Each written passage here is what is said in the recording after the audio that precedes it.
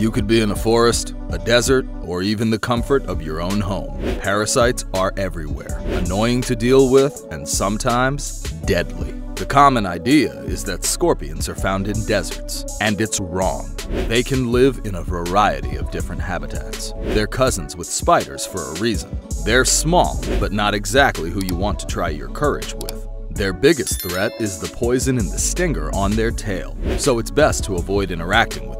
They rarely go after people. Chances are they won't want to deal with you either. But there might be a time that you'll encounter one and possibly be stung by it. Before getting started, it's important to mention that children and the elderly are most likely to be affected significantly by a scorpion sting. Even healthy adults, however, want to be careful as these creatures can seriously be deadly.